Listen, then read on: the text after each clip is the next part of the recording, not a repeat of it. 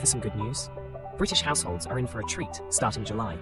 The UK's energy watchdog, Ofgem, has announced a 7% reduction in the energy price cap.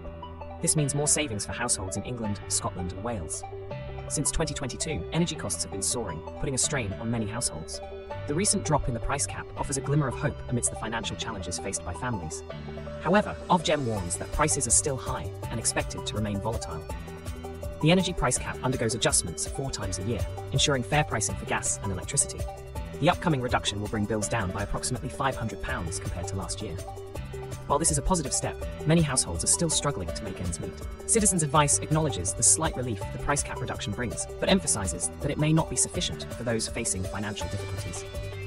Millions are finding it challenging to cover essential expenses, highlighting the need for comprehensive support beyond lower energy prices. Looking ahead, energy prices are projected to rise in the coming months, posing long term challenges for households.